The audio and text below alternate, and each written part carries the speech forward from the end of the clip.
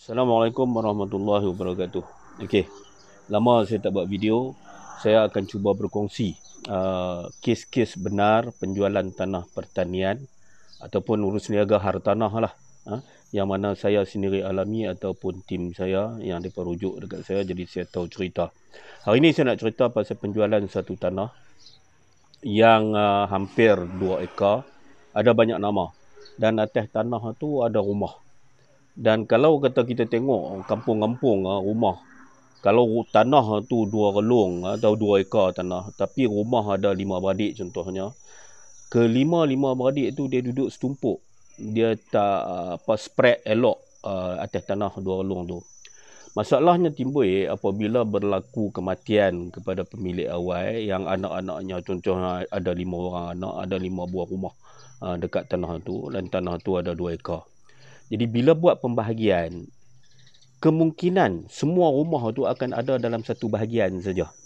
Ya, ada dalam dalam satu bahagian tanah tu saja. Kelima-lima rumah tu duduk dalam satu bahagian atas satu nama. Dia tak boleh nak rencong ah, dia nak ukok tu dia tak boleh nak rencong pergi ambil okey rumah Ahmad ha, lepas tu bahagian Ahmad ada banyak mana dia pergi bubuh bagi tapi ambil rumah tu. Uh, masalah ni berlaku apabila nak jual. Bila nak jual dia kata dia nak jual sekali dengan rumah. Tanah dia tu nak jual sekali dengan rumah. Bila kita tengok drawing yang buat uh, rumah dia tak duduk dalam bahagian tanah dia.